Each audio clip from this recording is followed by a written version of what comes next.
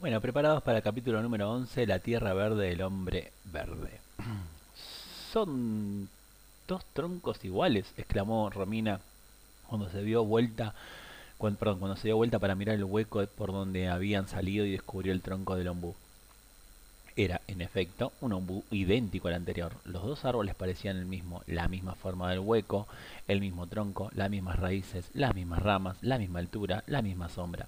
Violeta sacó su brújula y caminó alrededor del árbol. Con un grito anunció el resultado de sus investigaciones. El hueco de este ombú apuntaba hacia el norte, mientras que el del otro lo hacía al oeste. Sí es idéntico, pero es otro. No solo el árbol no era el mismo, también el paisaje era diferente. Estaban rodeados de árboles altos y bajos, malezas y arbustos, lianas y hojarascas, matorrales que se trepaban unos sobre los otros, formando cortinones espesos de enredaderas que la, que la vista no podía atravesar. El cielo no se veía. ¿Es otro planeta? preguntó Romina. ¿Marte? arriesgó. En Marte no hay plantas, nena. Kroll, el enanito, bueno, el hombrecito, sonrió sin decir nada.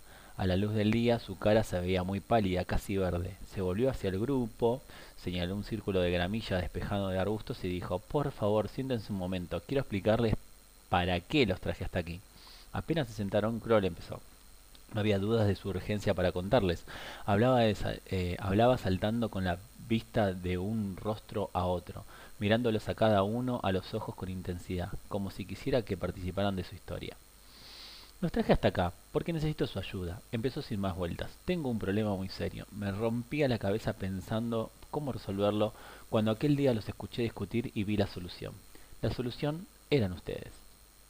No quería asustarlo, así que empecé, perdón, esperé a que se decidieran a entrar por el tronco del árbol y los traje hasta acá para mantener este asunto en secreto. Ustedes son capaces de mantener un secreto, ¿no? Esta reunión debe ser un secreto. Quiero decir que nadie debe saber que los traje hasta acá. ¿Por qué? preguntó Violeta desconfiada. Como si no lo hubiera escuchado, Kroll continuó hablando. Le diré quién soy. Yo soy el que escribe se detuvo y carraspeó. Hizo una pausa y cuando comenzó a hablar nuevamente, el tono de su voz sonó algo arrogante. No, soy miembro del Gran Consejo de Odovia. Odovia, por si no lo saben, es mi país, es un país, es mi país. No se preocupen si no lo conocen, poca gente lo conoce. Su territorio es tan diminuto que el Google Earth, el Google Earth no lo encuentra, pero eso no le quita importancia a este antiguo reino situado en la selva impenetrable de Corovia.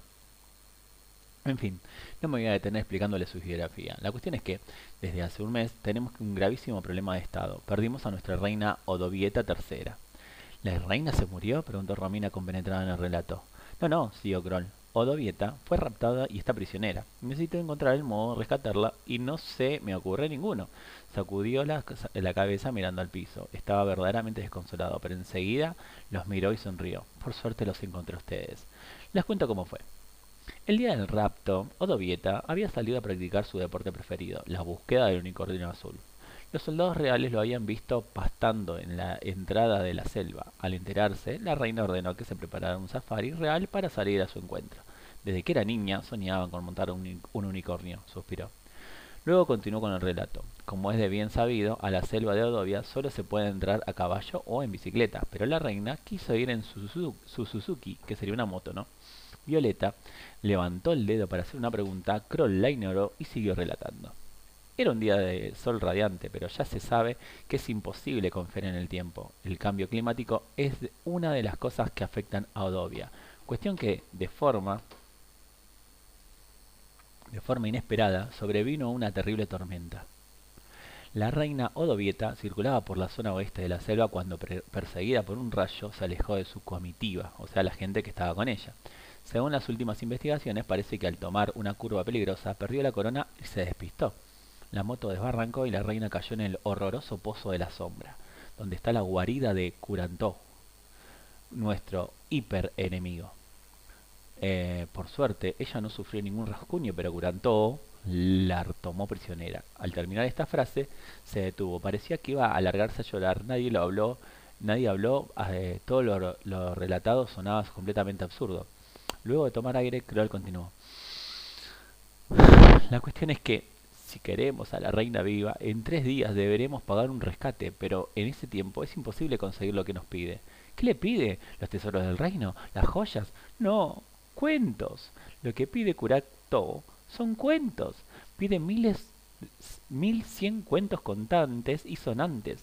Quiere que sean diferentes, interesantes y que estén bien contados. Y además que los, narradores sean los cuatro hijos de Odovieta en persona. Hasta que ellos no bajen al pozo de la sombra y les cuenten los mil cien cuentos, Curantó no liberará a la reina. Cuentos, querían cuentos. Los hijos de Odovieta deben ser muy buenos narradores, dijo Saralía con respeto. Los hijos de la reina Odovieta no saben nada de cuentos, respondió Kroll rabioso golpeando el piso con un pie. Ellos son gente muy ocupada, ministros, ingenieros, administradores de la banca oficial pública y privada, regidores de los shoppings reales. No saben una palabra de cuentos. Entonces, ¿qué sentido tiene? ¿Por qué Curantó quiere que sean ellos los narradores? preguntó todo el grupo en coro. Kroll suspiró. Parecía que cada vez le resultaba más difícil seguir contando la historia. Por momentos se embarullaba y repetía o decía cosas sin ton ni son, como si consiguiera que las ideas se hilaran en su cabeza, hasta que se quedó callado, pensando y luego continuó. Cuando eran chicos, Curanto y los hijos de Odovieta eran muy, pero muy amigos, amigos inseparables, pero crecieron y tomaron caminos diferentes. Curanto culpó de esto a la reina, a la madre, y declaró la guerra a Odovia. Esa enemistad ya lleva 30 años de ofensiva, ataques, agresiones, asaltos, acometidas, operaciones, planes siniestros, en fin, todas esas cosas del batallar. El nuevo plan de Curanto es obligar a los hijos de Dovieta, quienes eran sus amigos, ¿no?, a reunirse con él para entretenerlo, o sea, contarles mil cien cuentos. La historia era desatinada. Drigo miró de reojo a sus amigos. Santiago y Mario tenían la boca cerrada, pero se reían con los ojos. El resto tenía la cabeza entre las rodillas y sus cuerpos se sacudían, conteniendo la risa. Lo que decía Kroll era un disparate. Sin embargo, se los veía agobiados y por tono, por el tono de voz, el relato sonaba verdadero. Los hijos de la reina se reunieron ayer toda una mañana y no consiguieron recordar ni un solo cuento completo. Se lamentó. ¿De dónde van a sacar 1100? Kroll levantó la cara, respiró y siguió, ahora sonriente. Pero con más aflicciones ustedes tienen la solución. Por eso los traje hasta acá. Nosotros. El hombre cambió la sonrisa por una mueca de fastidio y con un dejo de queja en la voz insistió. ¿Ustedes son o no son los del club de aventuras? Somos, murmuró Rodrigo. Entonces, ¿quieren, perdón, quién es mejor que ustedes para resolver el caso? Deben tener miles de historias acumuladas, más de mil seguro. Se podía escuchar el roce del aire en las alas de las mariposas. El resto era silencio, el silencio parecía un pozo de sombra sobre eh, todos. Estaban atrapados de donde, sabía, donde nadie sabía cómo salir. Rodrigo tomó coraje y habló. Mi papá a veces inventa cuentos. Él dice que el cuento le brota, como el del brote de una planta, nace de cualquier situación. No sé. A mí nunca se me ocurren. Cada vez que la maestra me pide que inventemos una historia, no sé qué decir. Lo que se me ocurre me parece aburrido. Kroll los miró interesado, como esperando que siguieran, pero Drigo no supo qué más decir y desvió la mirada. Entonces, ¿no tienen historias para contar? Aunque sea alguna cortita, ¿de verdad no tienen? Esto sí que no lo esperaba, suspiró. Ay, ¿qué voy a hacer ahora? se lamentó. Volvió a mirar el grupo y les pidió como un en un ruego, aunque sea ayúdenme a pensar otro final para Odovieta. Los chicos se miraron, no entendían ese insólito pedido. ¿Un final? ¿Cómo que todo era un sueño y, que se despertaron? preguntó Romina. Kroll lanzó un suspiro de aburrimiento y revolvió los ojos. Y si le piden a cada habitante de Odovia que contribuya con un cuento para rescatar a su reina, propuso Saralía. En Odovia debe haber más de mil cien personas. El consejo puede abrir un sitio de Facebook que se llame Mil cien cuentos para salvar a Odovieta. Los hijos de Odovieta deberían aprender la historia, las historias que les cuente la gente. De paso conocerán al su pueblo y podrán gobernar mejor. ¿Sería o no un gran final? Está buenísimo, saltó Santiago, aunque un poco molesto porque la idea no se le había ocurrido a él.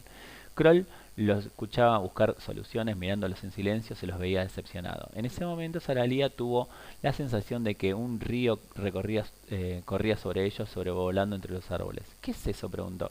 Es viento, dijo Kroll. Cuando lo dijo lo reconocieron. En ese lugar la fronda era tremendamente espesa y el viento debía empujar mucho más para atravesarla. Al hacerlo, formaban olas con, la, con las hojas que al chocar entre sí producían un sonido semejante al del agua. Un río volador, exclamó Santiago fascinado. Kroll interrumpió la escena con un carraspeo. Se puso de pie y sin más ni más comenzó a despedirse. Quiero decirles que, aunque su ayuda resultó bastante menor de la que yo esperaba, igual fue un placer conocerlos. Tienen potencial. Gracias por todo, se merecen las mejores aventuras. Las mejores aventuras, ojalá que las tengan. Luego los saludó agitando una mano y caminó hacia una mata oscura, un arbusto. En ese momento a Adrigo se le ocurrió algo. Sacó un papel de la mochila y se lo puso a escribir tan rápido como a los chicos no lo, no lo vieron. Comenzó con este título. Plan B y antes de que Kroll cruzara el matorral se lo dio en la mano. Kroll recibió el papel sin leerlo y lo guardó en un bolsillo con un poco de entusiasmo. Enseguida se agachó y tan bajito como era desapareció entre las ramas, igual que una ardilla. A Drigo la brusca despedida lo sorprendió. Le pareció muy poco cortés que se despida así. Entonces separó las ramas para buscarlo y explicarle de qué se trataba, lo que escribió, lo que había escrito, ¿no?